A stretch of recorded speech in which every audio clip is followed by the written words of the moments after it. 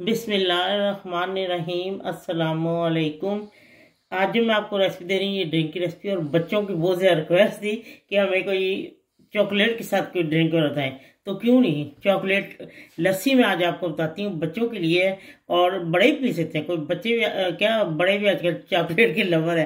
तो मैं आपको बताती हूँ नोटेला और मैं ये चॉकलेट दोनों यूज़ करूँगी तो मैं आपको बताती हूँ कि चॉकलेट लस्सी कैसे तैयार की थी इसके लिए मैंने एक कप योगर्ट लिए और ये नॉर्मल चॉकलेट है रेगुलर चॉक जो खाते हैं आप, जो आपको आसानी से मिल जाए, ठीक है? इसको मैं मेल्ट करती हूँ, ठीक है?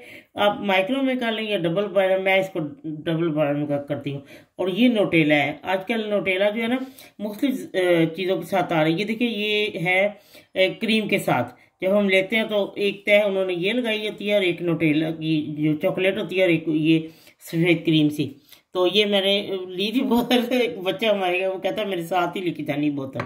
मैंने ज़बरदस्ती उसे रख लिया, ये थोड़ा सा मैंने कहा, चॉकलेट लस्सी मैंने बतानी है तो मैं आपको बताती हूँ। और इसको अगर आप ग्राइंडर में करेंगे तो बहुत पतली रहती है लस्सी ठीक है?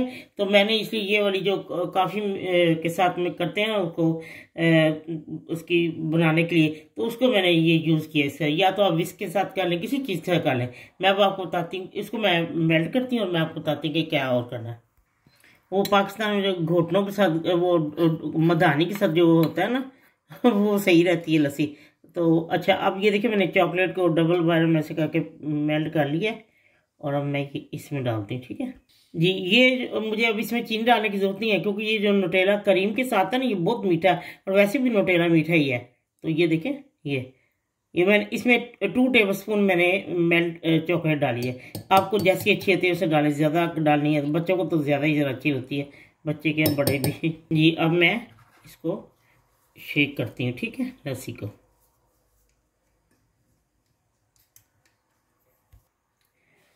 लीजिए। बच्चों के लिए चॉकलेट लस्सी तैयार है।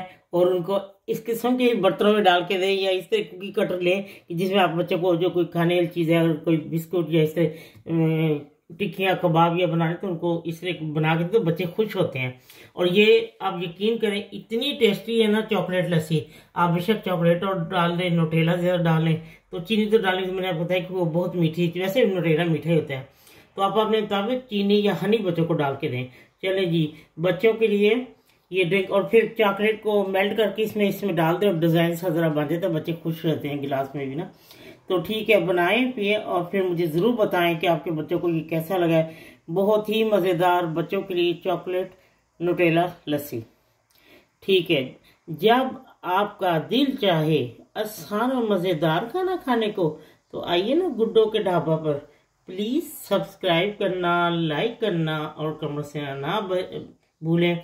बच्चों के लिए हमेशा यही होता है कि हमारे लिए कुछ चीज़ें बनती है। अब मेरा ख्याल बच्चों के लिए ऐसे ऐसा चीज़ें बन जाएँगी। तो आजकल छुट्टियाँ तो होने वाली है तो फिर बच्चे घरों में कहते हैं कोई ना कोई चीज़ हमें माएँ बना खिलाती रहें। तो बाज़ार से प्लीज़ बच्चों को ना लेके दें, उनकी सेहत का ख्याल रखें। प्लीज़ सब्सक्राइब करना लाइक करना और कमेंट से ना भूलें। अल्लाह हाफिज़।